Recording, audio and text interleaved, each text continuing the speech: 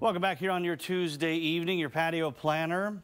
I mean, obviously it could be better with the winds the way they are, but at least it is comfortable outside. Temps in the upper 60s to low 70s. So certainly if you don't mind sitting out in that breeze, not a bad evening, just to enjoy. Um, what do we call it, a late April day now, I suppose, as we continue to chug our way through the month.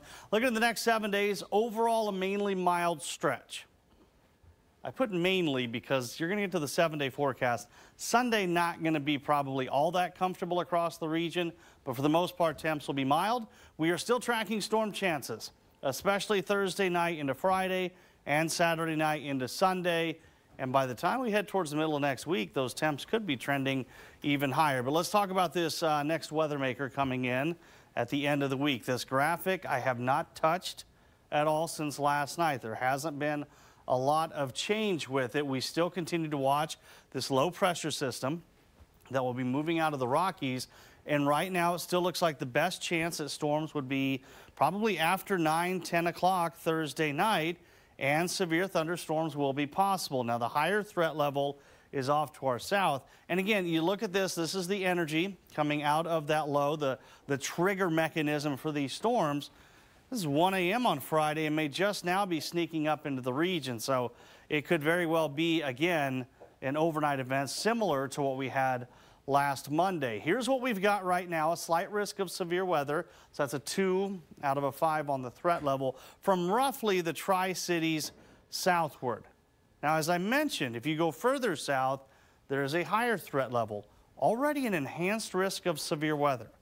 So an enhanced risk of severe weather three days out, that grabs your attention. So right now, southern Kansas down in Oklahoma looks to be kind of the bullseye for this, but we are certainly uh, in the mix for severe weather as we get into Thursday night. Please stay updated with the forecast. The temps up north, you're in the low 60s right now. 63 in Ord, 60 in Ainsworth. Compare that to 72 McCook, 71 Hebron, and Tri-Cities right now holding it around 66. Winds, yeah, they're still a problem. Straight out of the north for the most part, gusting 25 to 30, which when you combine with how dry the area is, I mean, we've got humidity values at 25% or lower. That fire danger is a little elevated out there today, but thankfully the winds will be relaxing tonight. We may see a little bit of shower activity out in the southwest part of the state tonight, and that cloud cover drifts eastward tomorrow, but not expecting a lot of rain out of that. In fact, tomorrow night could hold another round of some scattered showers as well. 40 for the low tonight in the Tri-Cities. Slight chance here that we get some rainfall. Better chance in southwest Nebraska. 67 tomorrow, less wind, similar temps. I think it's going to be pretty comfortable. 48 tomorrow night and maybe some showers popping up yet again. Looking at upper 30s to around 40 degrees for those low temps tonight.